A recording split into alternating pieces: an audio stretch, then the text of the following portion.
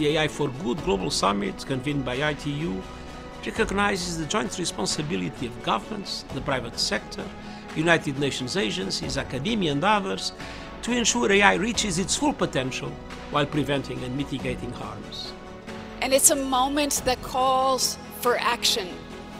And today I'm calling on each of you, each of you to use this summit to help the world to better understand what kinds of regulations, what kinds of guardrails we need to put in place right now.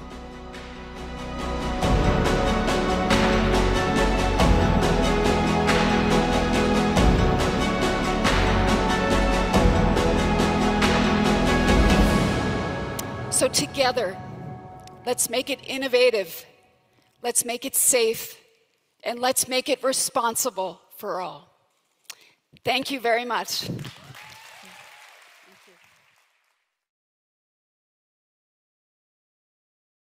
Welcome to AI for Good, the leading action oriented, global, and inclusive United Nations platform on AI. Organized by ITU in partnership with 40 UN sister organizations and co convened with Switzerland. The goal of AI for Good is to identify practical applications of AI to advance the United Nations Sustainable Development Goals and scale those solutions for global impact. In today's session, we're counting on you to use the live video wall feature to ask questions and post comments to help create an engaging discussion.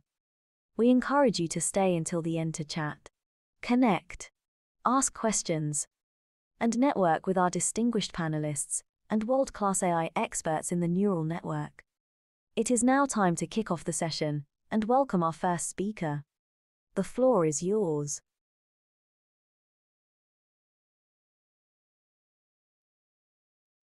Hello, everybody. My name is Sylvia Poll. I'm the head of the Digital Society Division in ITU, where we do all the work on digital inclusion, especially on gender. And I would like to welcome you all to the AI for Good webinar on unveiling sexist narratives, AI approach to flag content on social media. And it's organized by ITU in partnership with UN Women and UNICC. So we have a very, very exciting session ahead of us. But I will start with some opening remarks in relation to ITU. And it's really an honor to be here with you. And thank you for, for also the kind invitation to be moderating, especially on the occasion that tomorrow we will have International Women's Day. As the UN agency for ICTs with the overall mission to connect the unconnected, ITU has been working hard to leave no one behind and to make sure that vulnerable groups such as women, girls, children, and young people are included in the access and use of technologies. And for us, ITU's works to close the gender digital divide has been a priority for many years. And the recent fallout from the pandemic has been catastrophic for the lives of billions of, of people. And we also know that women are suffering disproportionately. They're more likely to have lost their jobs. They're more likely to have had their long-term educational prospects compromised. To, mass to maximize its impact on society and economy, ITU talks about digital connectivity, that it must be universal and meaningful. This means that when it's universal, it means connectivity for all. And when, when it's meaningful, it's a level of connectivity that allows users to have a safe, satisfying, enriching, and productive online experience at an affordable cost. Digital skills are also a key. So ITU, what are we currently doing to close the gender digital divide? The ITU is co-founder of the Equals Initiative since 2016, and it's been leading the efforts with other organizations working together to ensure that women are giving access to ICTs. And Equals is a successful example of cooperation with more than 100 committed uh, partners in 115 countries. And we've had supported over 52,000 women and girls who have received digital skills trainings and mentorings, and we have done over 146 research projects. ITU is also part of the UN Women Generation Connect Forum process, and by co-leading the Action Coalition on Tech and Innovation, together with partners, we also tried to scale up the work on equals. Part of the ITU's work uh, will be celebrated very soon is the International Girls in ICT Day. And I invite everybody to join the uh, 25th of April, where we promote the exciting career opportunities that are waiting for girls and young women in the tech sector. Since 2011, more than 360,000 girls and young women have taken part in more than 11,000 events in over 170 countries. Another effort that ITU does is the ITU Network of Women, where we encourage skilled female professionals to assume leadership roles uh, for our different conferences, and also that we have more women in the technology sector and have more active roles. We we wanted to also share and, and, and think about, okay, what is ahead of us? And in the case of emerging barriers to take into consideration.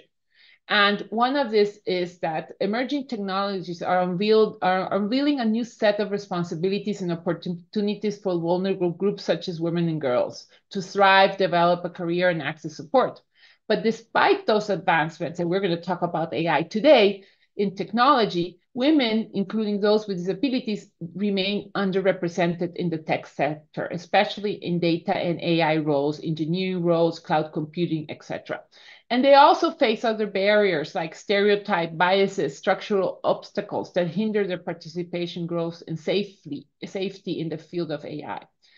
We also have inadequate uh, policy regulatory frameworks. Only half of all the policies around the world on ICTs include references to gender and in digital inclusion for vulnerable groups. That has to change. We also have a big digital skills gap, and, and that is mostly uh, around uh, technology that we know that is rapidly evolving, and that women don't have all the opportunities through scholarship, internships, and uh, mentorship opportunities that are important to break down the stereotypes, biases, and structural barriers that women uh, norm normally have. So what can we do here as, as UN agencies and international organizations? Well, definitely uh, encourage more multi-stakeholder partnerships. We also need to act uh, at different levels, both from the international, regional, and national perspective. All stakeholders need to be involved, governments, national ICT regulators, ICT companies, uh, the private sector, academia, etc. And we all need to also advocate for more evidence-based interventions. We cannot try to solve this issue of closing the gender digital divide alone, and we need to know what is happening uh, on the ground. So uh, I, am going to finalize with, with these comments, and I would like to now uh, give the floor to, to our, our first, uh, what we have two speakers, two amazing speakers, and we're going to have like a 20 minute uh, presentation from both of them. And then we will open the floor to to anyone who's participating in this online session for any questions or comments. So I hope you put in a lot of questions in the chat and we can then uh, see uh, what uh, what your comments and questions are.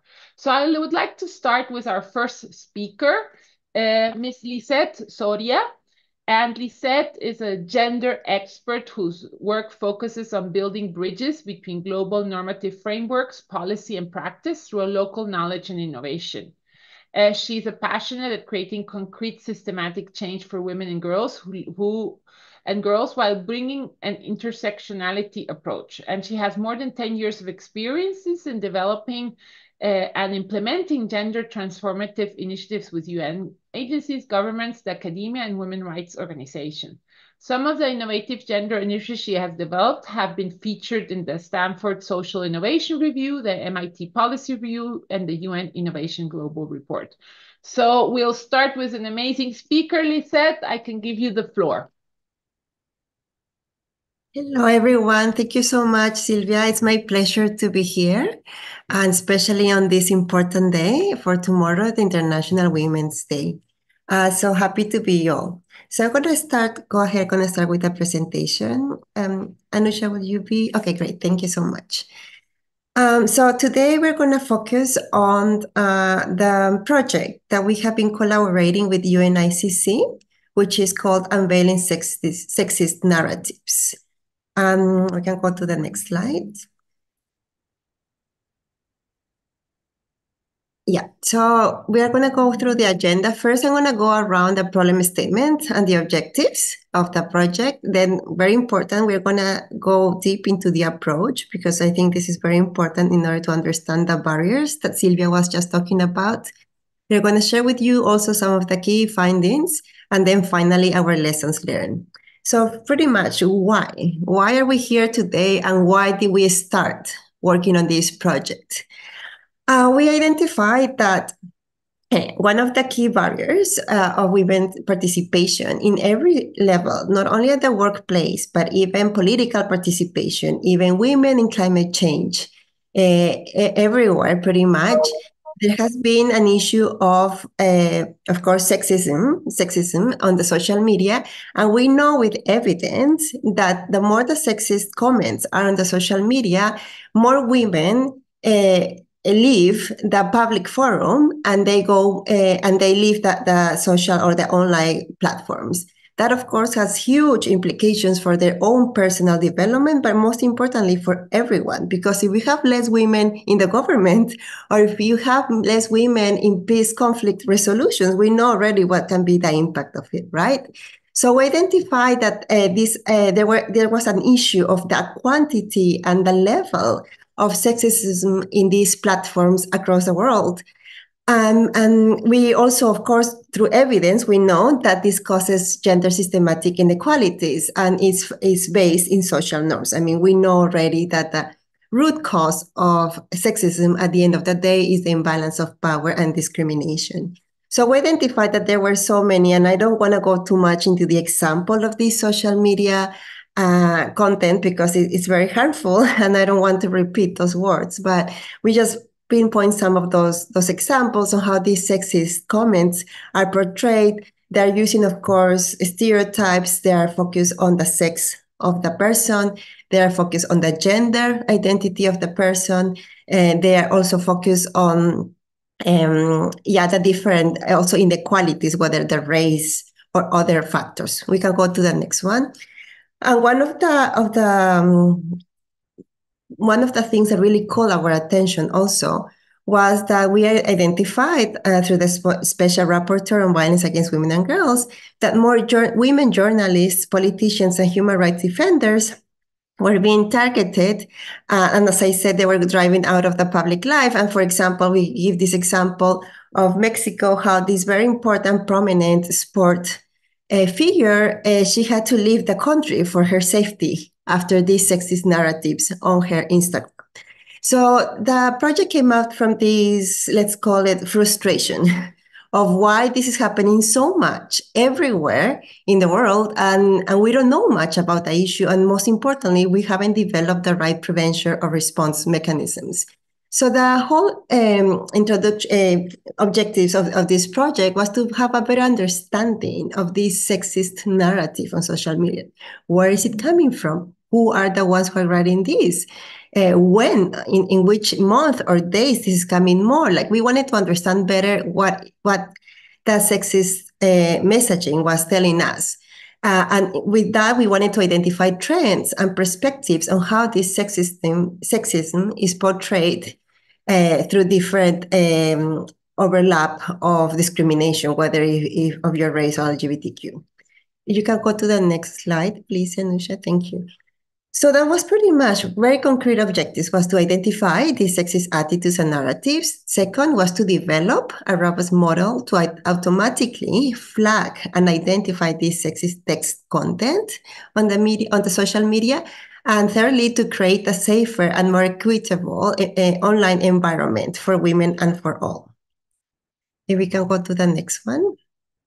So we, uh, in order to do that, in order, we had to do a taxonomy of how we're going to define and identify this sexism online.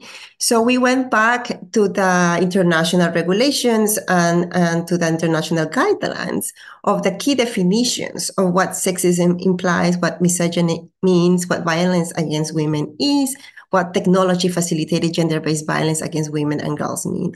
Just I want to flag that one of the challenges has been that a lot of these definitions actually are not all common agreed definitions.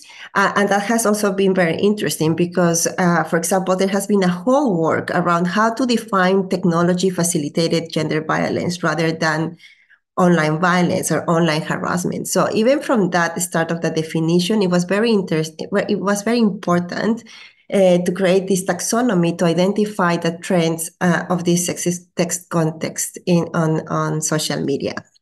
We can go ahead. Uh, so, and I want to also keep um, stop here because I think it's super important. Uh, I think the composition of the team, now that we're talking about AI today, uh, is extremely important because one of the issues, as Sylvia presented at the beginning, is these barriers or these invisible uh, barriers behind AI.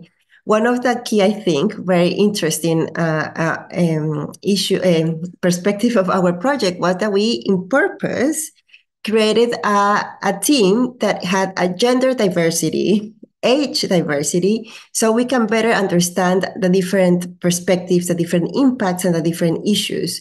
So we had a very interesting partnership from UN Women. We particularly for, uh, create a partnership with UN Women Mexico uh, because this is one of the partnerships we have had with UNICC and then uh, and me from HQ in New York as a gender expert and, and on, the, on this topic. And then we had also our experts from UNICC that are morely focused on the AI technology. So already this interdisciplinary team, I think, is very important and it has been very useful because we were combining technology with social policy. Uh, uh, and I think for these type of projects, and if we want to create more equal AI systems, it's very important to have multidisciplinary and gender diverse teams.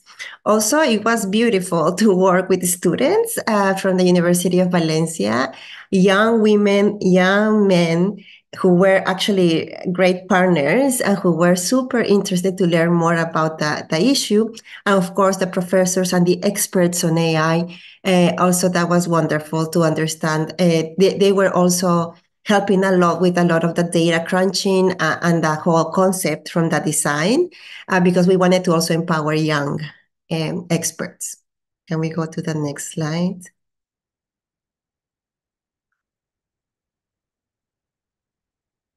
Yeah, and then I, I will go and, and leave it to my colleague Anusha that will continue with the approach and the key findings of the research. Thank you. Thank you very much, Lizette. And I think, uh, wow, uh, I hadn't understood what a big problem this is. And then for somebody even having to move away to from one country to another because of this issue. So, so really interesting, re really very important effort that you're doing. So I want to now introduce introduce Ms. Anusha Dandapani. And uh, she has been serving as the Chief Data and Analytics Officer at the United Nations International Computing Center. In her role, she's responsible for creating and overseeing the growth of data and AI services for uh, UNICC. And Anusha advises and partners with other UN agencies and organizations, industry, and academia on solving their business problems by leveraging AI, machine learning, data analytics, data engineering, data science offerings and capabilities. So Anusha was featured in the Global Data Power Women list for 2023, 2022, and Data IQ Top 100 Influential People in Data in 2023. So we have a second amazing speaker, and I hope also a lot of people already are putting some questions and comments in the chat. So go ahead, uh, Anusha. Thank you. Thank you, Sylvia. Um, and thank you, Lizette, uh, for this uh, amazing collaborative partnership. Um, I think uh, uh pulling together this wonderful team has clearly uh, showcased that uh, we were not only able to tackle this kind of a problem, but also bringing women together to solve for problems that are focused on women. this gave us a great opportunity to um, bring that democratization of uh, skill sets and also the expertise that we could bring to the table. Um, without further ado, I want to sort of shed some light on how did we approach uh, this problem. Um, so because this problem, um, though it seems um, very evident, we did run into, uh, from a data science perspective, uh, a data collection problem, I would say, because in order for us to understand the specific topic of how um, um, the gender-based stereotypes or sexism is being sort of relevant in the content that we have to collect because data collection is is the key in how we approach this problem right? So for us uh, we decided to not only focus on one form of channel uh, for the data source. So we ended up choosing twitter because twitter uh, which is currently uh, um, the social media platform x um, we used the X API to collect the tweets that were based out of Mexico. Uh, how did we qualify that this was from Mexico? We made sure that we um, leveraged the geolocation information um, that you can filter uh, based on the relevant keywords uh, in the tweet and we use that to not only include uh, different regions we also were very thoughtful uh, to consider different demographics also because this problem uh, with the assumption that only the young uh, generation or the young women go through this is uh, we wanted to qualify that other demographic age group is also considered in our analysis. And we also included wide variety of topics in our data collection. Yeah. So uh, we wanted to see uh, what is the um, um, effect on um, this kind of a population. So uh, we thought through this with a, a mindset that the data collection needs to be so diverse. Yeah and the second thought process that we learned by doing um, is to engage the subject matter expert who is fluent in Spanish and also uh, someone who is very much knowledgeable about the gender issues. Because in this case we went through a life cycle of manually labeling some content either whether they are sexist versus non-sexist content ahead of time. So that way it gave us the guideline or the criteria uh, for us to make sure that we are looking at consistent information and accurate information so that kind of definitely en enabled us um, with the whole thought process then we jumped into the model development. And in this case, we very much focused on NLP uh, and machine learning approach, wherein we had to develop a classification model. Um, and these were sort of like, you know, we used pre-trained word embeddings and we also custom trained a model uh, with the data set that we collected to make sure that the experiment that we perform has this kind of wide um, performance assessment uh, throughout throughout the process. Yeah, what I mean by that is model validation is key because perhaps this model performed very well in this particular data set. We wanted to make sure that the evaluation metrics, especially around precision, recall, uh, F1 score, and those kind of traditional model metrics, are we, are we able to improve the accuracy? Or are we very much only focused on generalizing this model? So that kind of gave us that um, assessment based approach. So we made sure that the model is validated.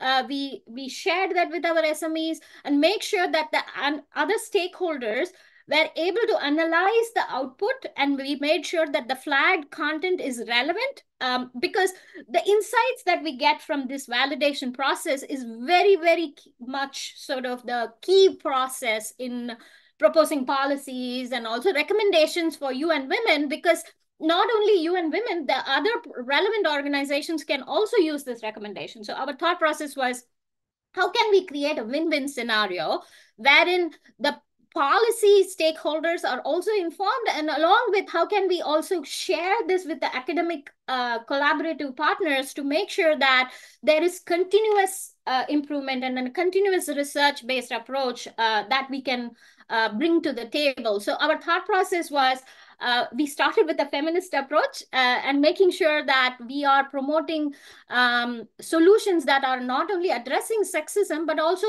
promoting gender equality because gender equality comes in different forms and shapes when you when you start dealing that uh, from a data perspective. So how did we go about? We made sure that um, we are transparent from day one. So anything that we work, uh, we work off of a GitHub uh, sort of a repository. Um, this is available in UNICC GitHub. You're welcome to uh, go on UNICC GitHub and have a look at it. And we have also uh, shared the work that we have done so far uh, with all our academic collaboration, especially with this UPV collaboration, and it's available in our UNICC website. Um, and we also conducted a survey to validate the feedback as to how did we go about it.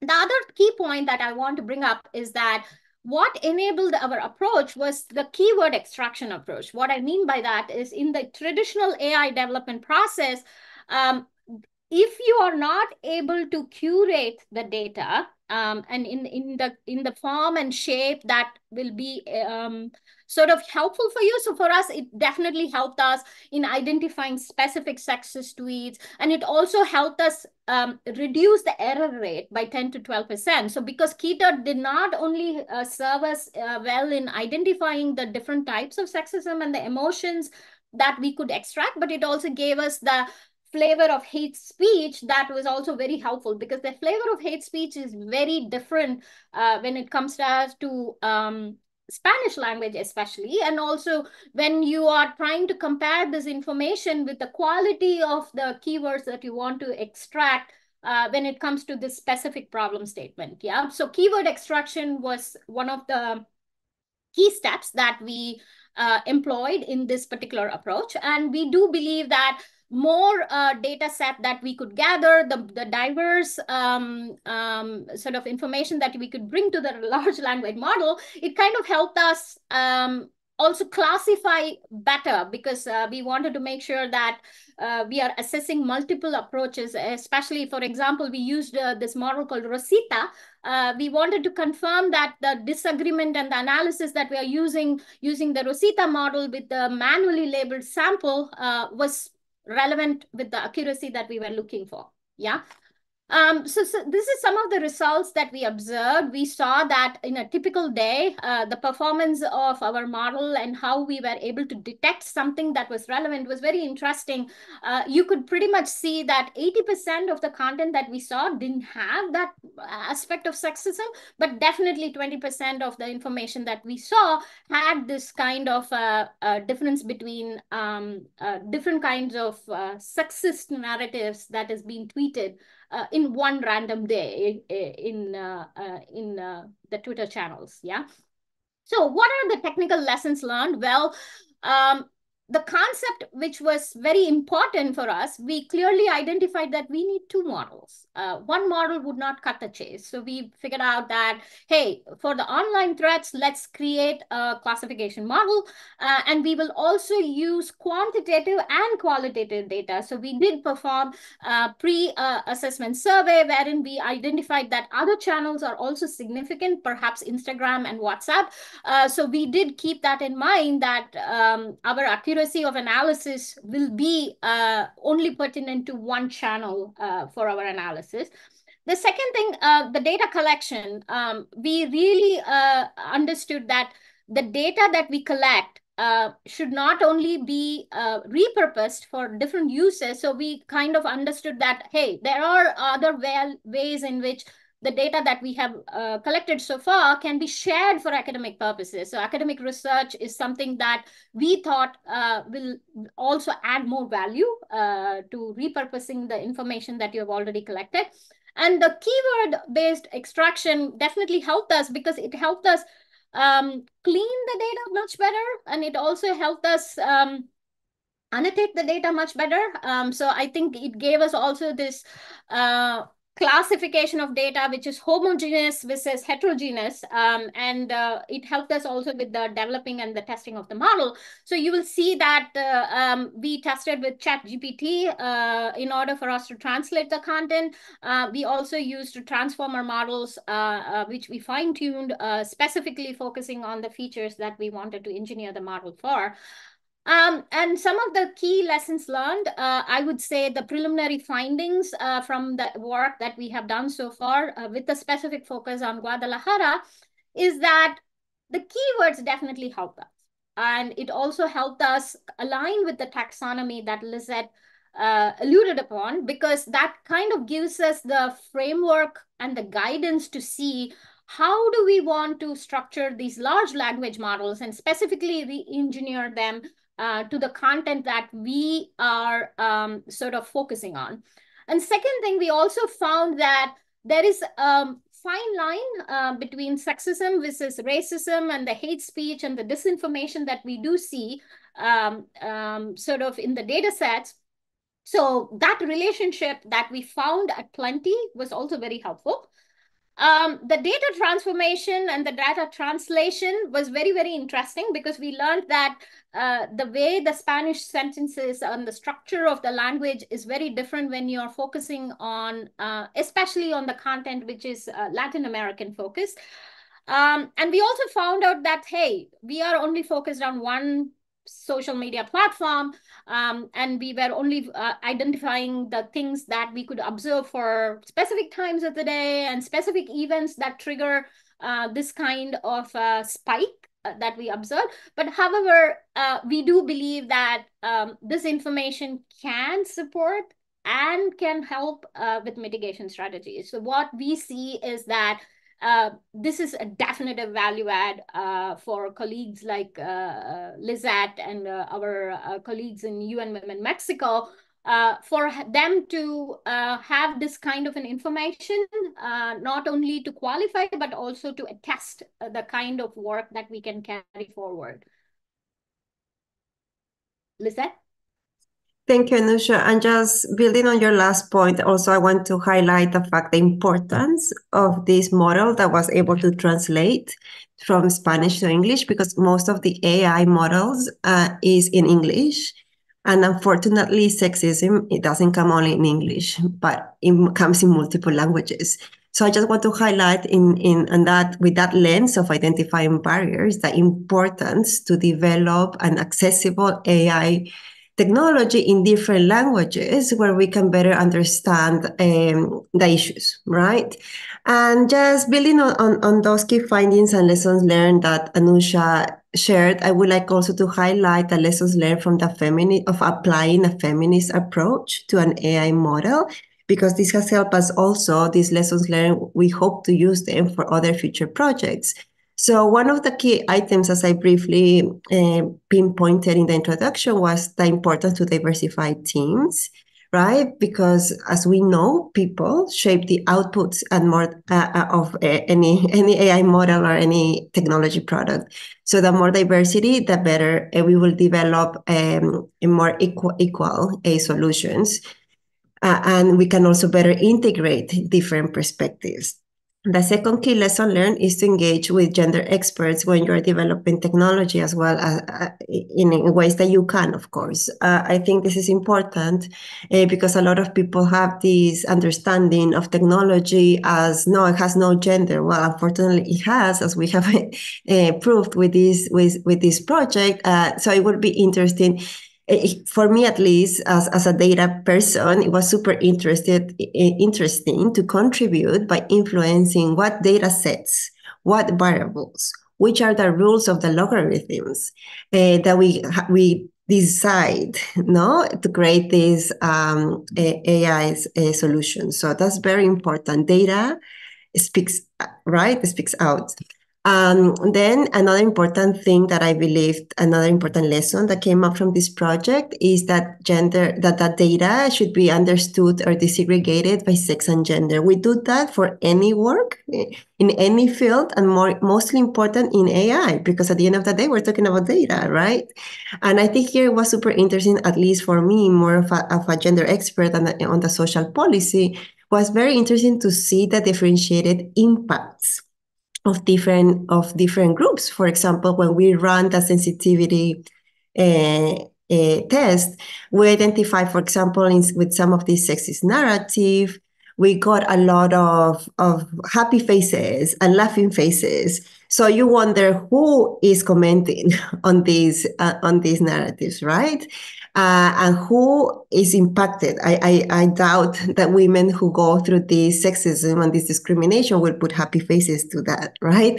So that's that's just an example of how important it is to analyze and understand the data disaggregated by sex and gender, depending on who is the user and who is being impacted by it. Another thing key important uh, lesson learned was that it is this multidisciplinary field, let's call it nowadays, that AI is more accessible to everyone because before it was in the hands of few people and mostly men and white. Um, it's interesting to also build a capacity of developers and data managers, right? Uh, we are all learning together, right? So I think that something that I, I, I take uh, and I appreciate from this partnership with UNICC and the vision of Anusha, which is also wonderful to have a woman as a chief of data uh, in, in a technology agency, is that this can help us to better understand, right, the issues, and they understand because the, the, the solution is not that I come as a gender expert and say this these are the issues. No, ideally we want the, the data managers and the developers to be empowered to identify the issues themselves. So when they develop in the future other products, they can already identify the issues, right? Uh, and I think that has a lot of potential. For example, one of the professors who were the leading uh, experts on this project, he himself, he mentioned, he's like, wow, I never, I was never aware of the level uh, of sexism in social media. This was eye-opening to me. And a lot, a lot of the students who participated in the project, especially male young students, they said the same. They were like, wow, we were not aware of the impacts of this, right? So I think that's extremely important. Is is the process, not only the results.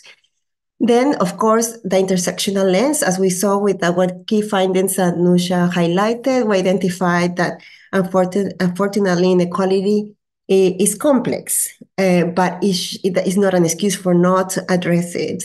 Uh, and when we're talking about um, gender and sex um, discrimination, we have also to identify other forms that uh, the intersection with other forms of discrimination. And finally, I think that one contribution from the feminist uh, perspective uh, and the feminist research that brings to this uh, project was, for example, the do no harm approach.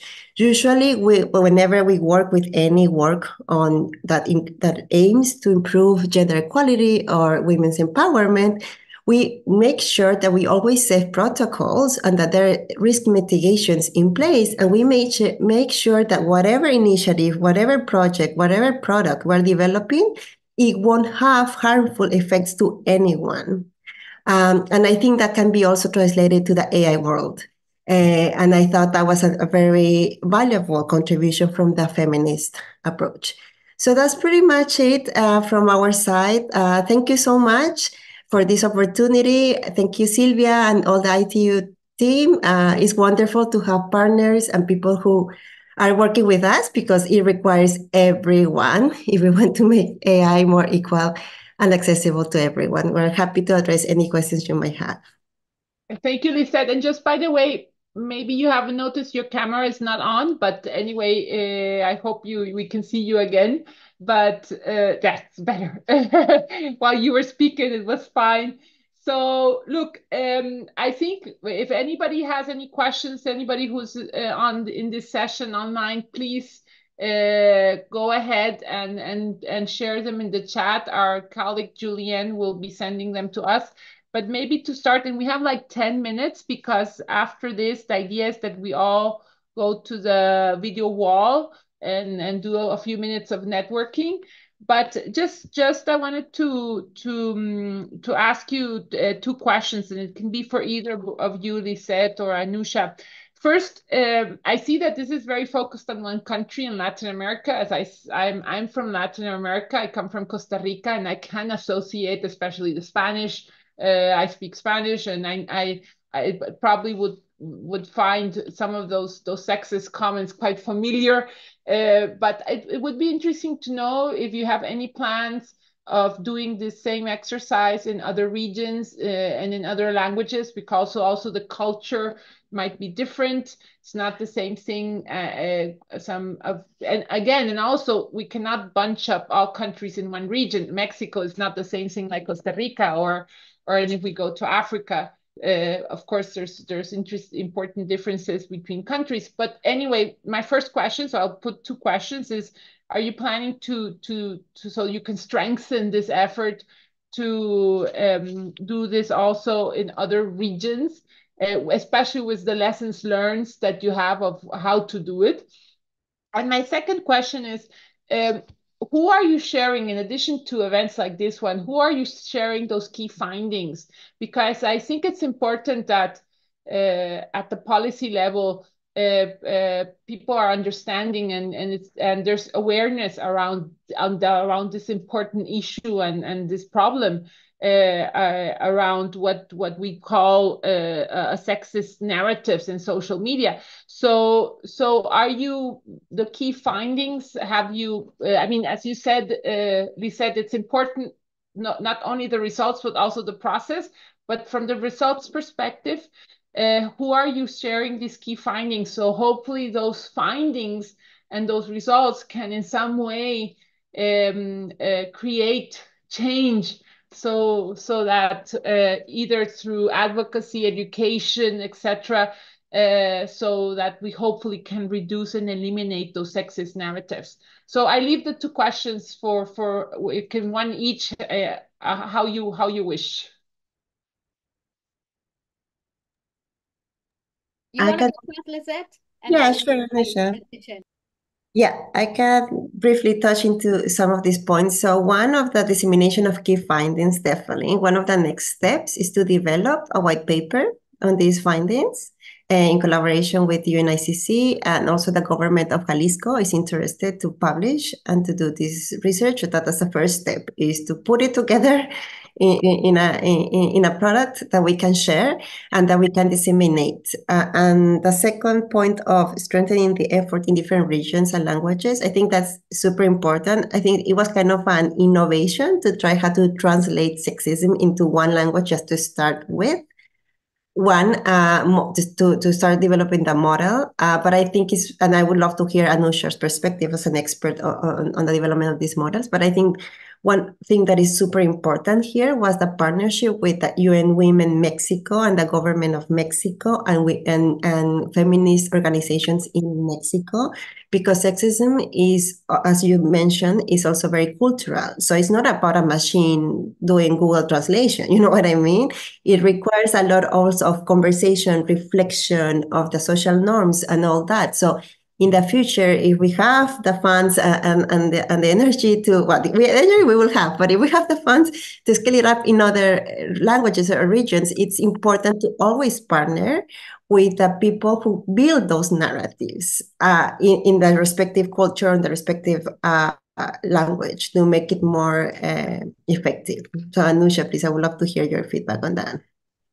Yes, um, uh, for for us, if, if you were to look at it from a data lens, Sylvia, uh, um, uh, we were more excited to look at this problem from a, a data and an AI perspective because um, the input to how we approach this problem actually came from the design thinking exercise that we, uh, Lizette, um, myself, and our colleague Andrea from UN Women uh, facilitated uh, with Guadalajara in Mexico. Um, so, Sylvia, the reason the choice of the region and the choice of the data sets came from uh, precursor uh, choice uh, because we did go through a thinkathon and a design thinking exercise uh, with the government of uh, Jalisco. And also we had that kind of an input feeding into our approach of how we are going to leverage the quantitative and the qualitative data that we collected uh, prior to this uh, building out of the AI model.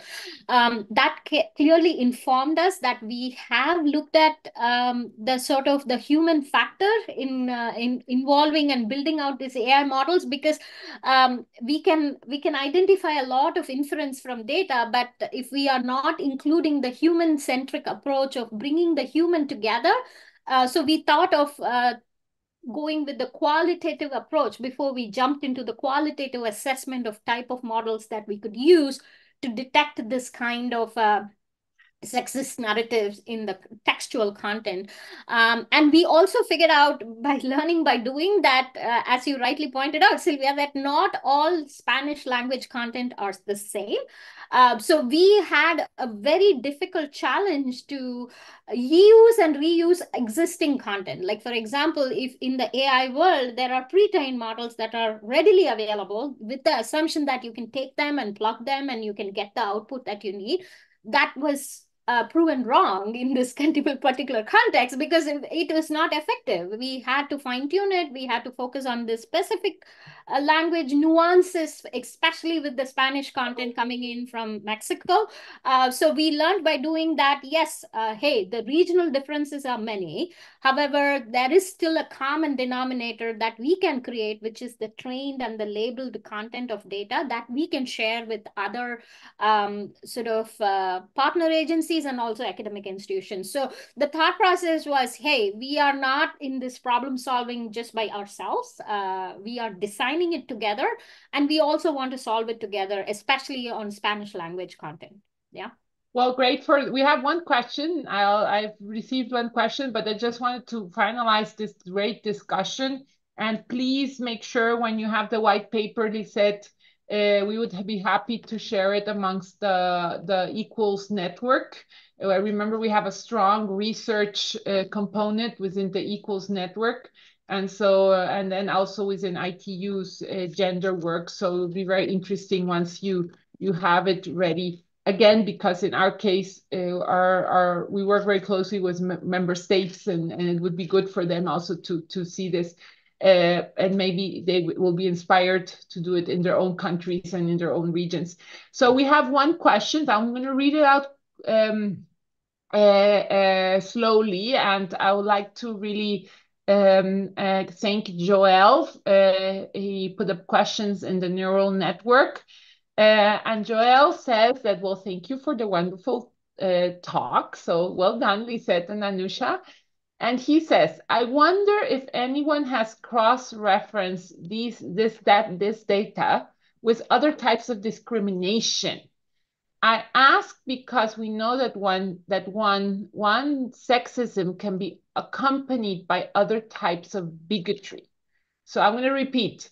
I wonder if anyone has cross-referenced this this data with other types of discrimination and if there's been any and he says because there's a link between sexism and other types of bigotry. So I leave it to, to if each one wants to do a, a quick response. Anusha, you want to go first this time? Uh, uh, yes, we did observe those kind of overlaps, uh, especially when it comes to sexism. There was a clear overlap with abuse, hate, uh, and, and also uh, violent content that had a direct correlation to the uh, data sets that we observed. Um, Joel, uh, Lizette?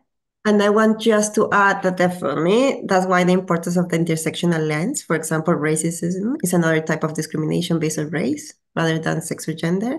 And also another one that was very, that is really pertinent to your question was technology facilitated violence against women, uh, because we identified a lot of correlation between sexism and violence against women and girls. And this is not surprise to us because to us, because we know that worldwide, uh, the evidence says that the prevalence of technology facilitated violence against women and girls online is between 15 to 46%, according to the different disparities between nations. So imagine uh, this is very high. And I bet this is not even covering the real prevalence because a lot of this violence is not reported.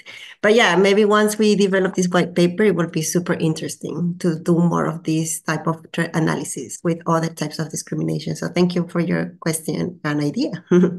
Thank you. So maybe before we move uh, now to the um, how do you say we move to the to the um, close the session because we're gonna we're gonna now move to the platform and and uh, we're we're gonna move to the narrow uh, platform. It was at at at 4:50 Geneva time, but maybe Lizette and and Anusha because this has been a super interesting discussion and and subject maybe in a short state, last comment, why is it so important to do these type of studies? And why are is also so important to use AI? So, so, so maybe Elisette, if you want to start just like a, a last comment of, of, of why we're doing this.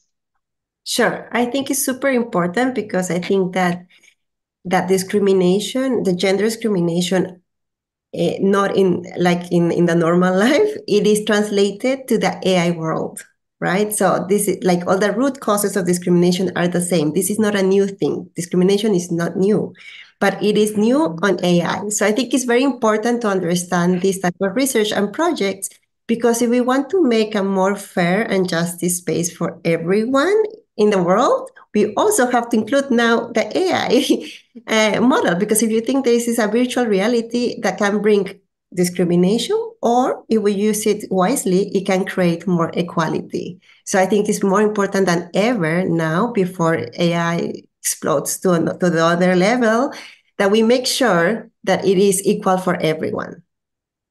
Thank you, Anusha. Yes, um, uh, to add on to what Lizette just mentioned, uh, we also believe, um, as Doreen from um, SG from ITU uh, alluded to, how can we build uh, AI solutions that are responsible uh, and they all uh, operate with this do no harm approach that uh, we, as the lessons learned that we shared is that we want to ensure that the safety protocols and AI based risk mitigations are in place. So uh, we women um, who are uh, involved, not only involved in this kind of uh, um, theme, uh, we also want to be part of bring, building things together um, using AI. So AI is helpful uh, for us to also uh, create problems, but we are very much focused on solving for problems using AI. Great, and I think uh, Doreen, as you said, has given us all a, a, a call for action. And the last AI for Good Summit, I hope everybody joins us this year in end of May uh, and comes and maybe, I don't know if Lizette, Anusha, if you're planning to come to, to Geneva, it would be wonderful to meet you face to face. Um, and I agree. I think it. I remember I, in my initial comments, I, I, mentioned the importance of meaningful connectivity, and it is what you said. Uh, we said it has to be safe. It has to be uh, connectivity for everyone, and had to be enriching and productive, and that everybody has the same opportunities. So there's one more comment. I'm. I have a Ricardo Rendon Cepeda. And um, so I'm going to read out this comment, and maybe if one of you wants to just do a quick response, because we we, we promised to go to the network. So, uh, so Ricardo says a fascinating yet painful look at the reality of social media. So he says, thank you for this important work and insights. So he asks, I'm wondering if you have thought of extending your research into finding cor correlations with anonymity aspects of social media. For example, on X or what was used to call Twitter, you can sign up without revealing much personal info and thus post without restraint. However, on other social media platforms like LinkedIn, your identity is very visible and tied to your professional networks. My initial hunch would be of course, that anonymity is positively correlated with sexism.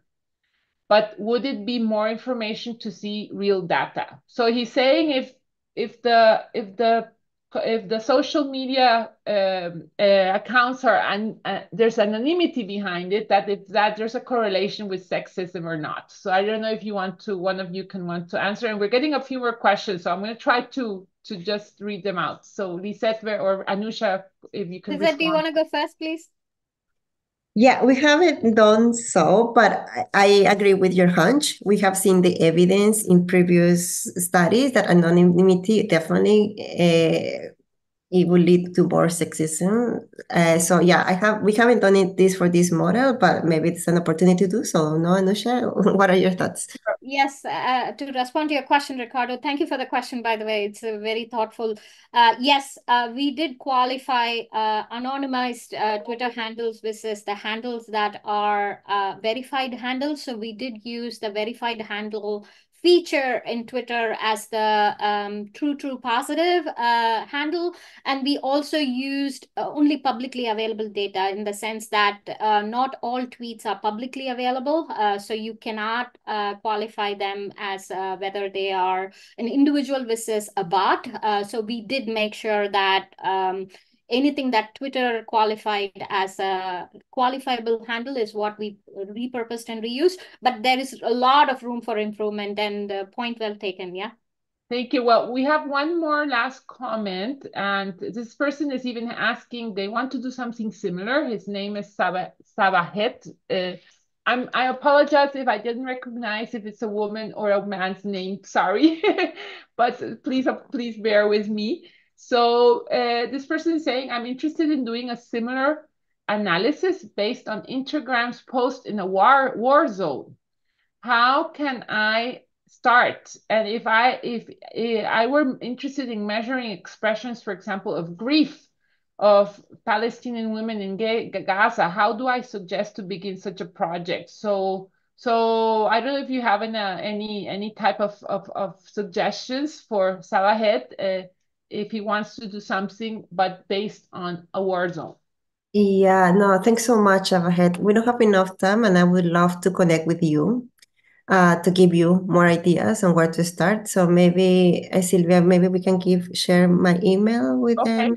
Okay, I will ask uh, our our our I, Julian, our our ITU uh, AI for Good uh, moderator, if he can share Lizette's email with Sabahat. Okay, so maybe it's super important, Sabahat. Yeah. Are you, or maybe Lizette, which social media platform are you that he maybe can also try to connect to, with you? Yeah, well, LinkedIn is under my name, Lizette okay. Soria. Also, please feel free okay. to join. Happy to support you on this. Okay, his name is Sabahat And, okay. Uh, and just to just to mention, sorry yeah. to jump in, Lizette, her profile, your profile is on our website, on the AI for Good website, so you can find it there as well. Perfect. Thank you. So should we now move? So we go off the Zoom, correct, Julian? Just guide us quickly and we go for a few minutes. Uh, yeah, if you could, that would be great. Thank you very much. Okay, so thank you very much for everybody joining this part. Let's see each other in the neural network uh, for a few minutes and hopefully everybody has enjoyed this really excellent discussion. Thank you very much.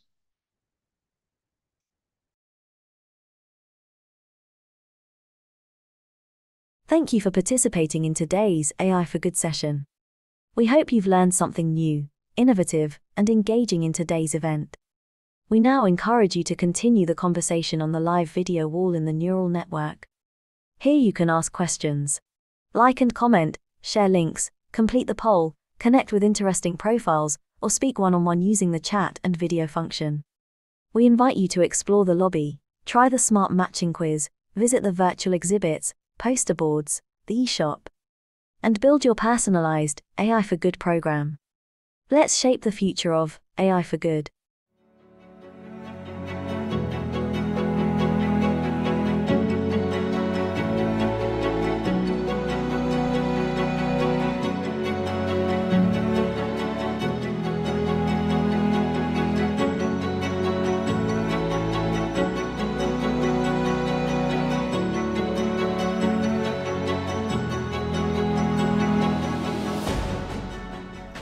The AI for Good Global Summit, convened by ITU, recognizes the joint responsibility of governments, the private sector, United Nations agencies, academia, and others to ensure AI reaches its full potential while preventing and mitigating harms.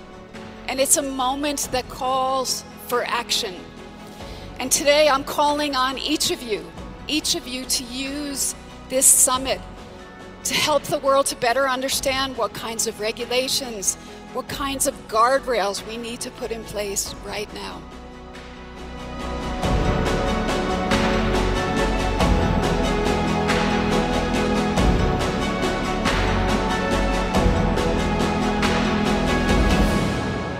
So, together, let's make it innovative, let's make it safe, and let's make it responsible for all. Thank you very much.